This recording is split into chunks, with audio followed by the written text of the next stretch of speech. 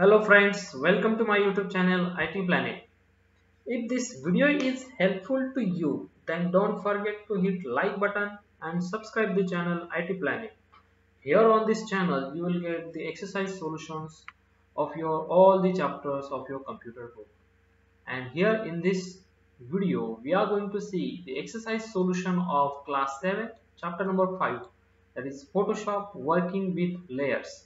Let's see first question Tick the correct answers.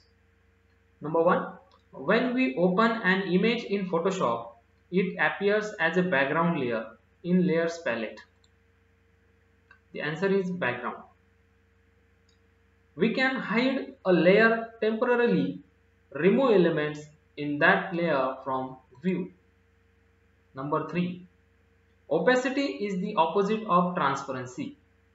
Number four, transforming a layer allows we to keep the rest of our image unchanged.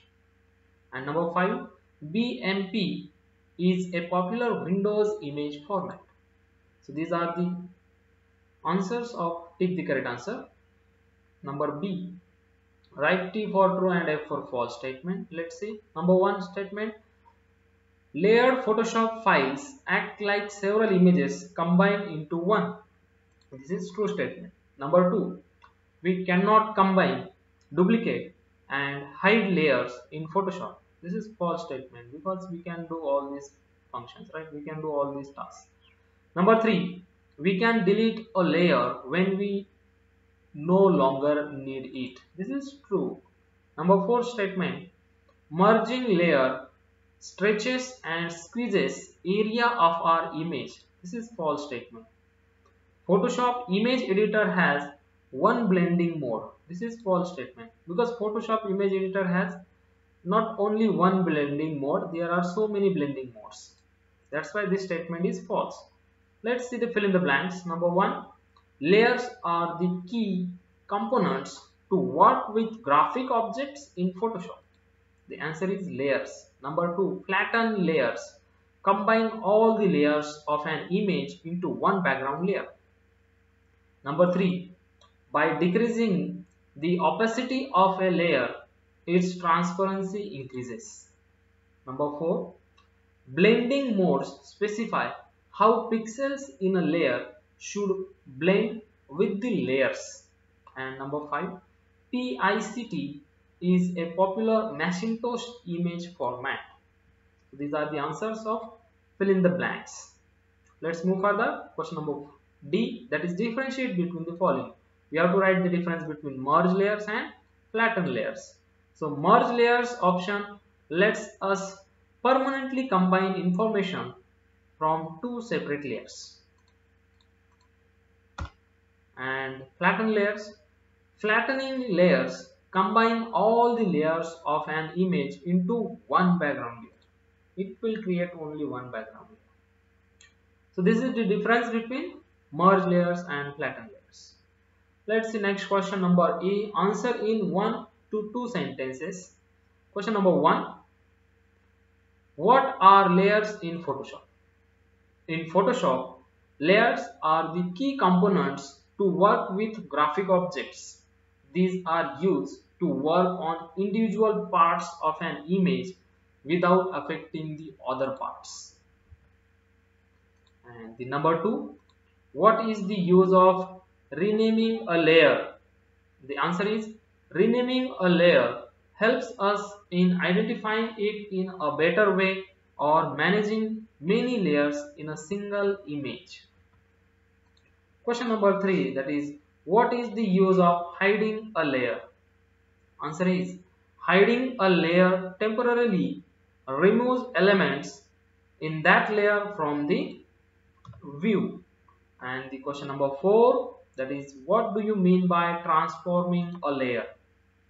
Then the answer is transform tool is used to change the shape of the objects in the layer and it allows us to keep the rest of our image unchanged.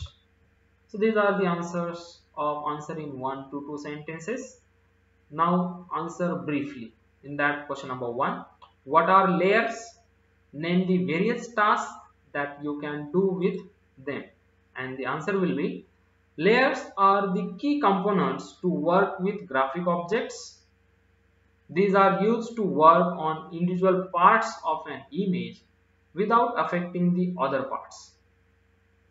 We can do these tasks using layers.